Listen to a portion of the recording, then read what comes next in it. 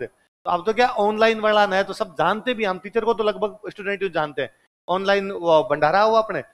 सब बच्चे लगभग जिम जाम गए। तो दिलीप सर ऑफ़िस में बैठते सर ने मेरे को आगे चल, देख के आते हैं उधर क्या व्यवस्था है।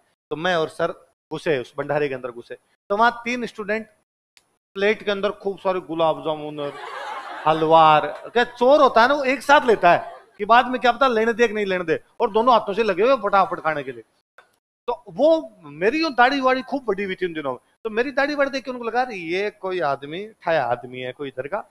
तो मैं जैसे घुसा ना, उन्होंने मेरे कहा, नमस्ते। तो मैंने नमस्ते। पर उन्होंने सर को नमस्ते भी नहीं किया। इसका मतलब सर को पहचाने नहीं। अब वहाँ से जैसे घुसे तो सर ने उनको तरफ़ देख के कहा। सर ने कहा, अरे थोड़ा थोड़ा ले लो। और आराम से खा लो तो वो गए, अरे, भाई साहब, चिंता मत करो।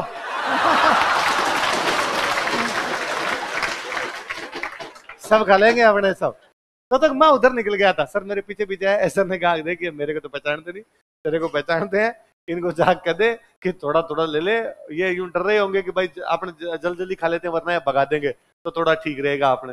मैंने उनको जाग कहा कि, भाई साहब के भाई साहब, तुम हमारे स्टूडेंट नहीं हो, हम पहचान गए। हाँ सर। निकल रहे थे, टेंट लगा हुआ था।